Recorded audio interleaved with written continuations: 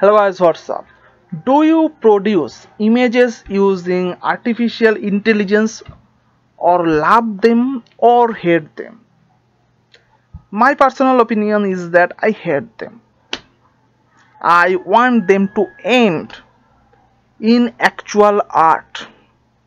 But maybe i am the only one i'm not sure. So the thing is that they are getting too too much real that you cannot you just cannot distinguish from a real art to a ai generated art.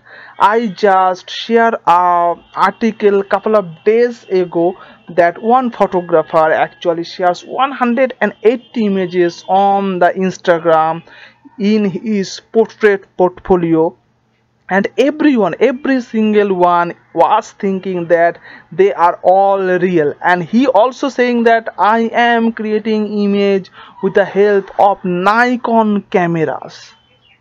But in reality he is creating photos in ai and every single one is thinking that he is a great awesomely phenomenon portrait photographer so it is getting more and more realistic.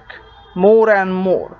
The number of this kind of thing are increasing day by day. And i think there should be there should be some kind of act some kind of resistance to that. Because we cannot allow the ai generated photos in the mainstream photography. I just hate them and that's basically all guys I have to say here in this particular video. And let me share your personal opinion about this topic in the comment section below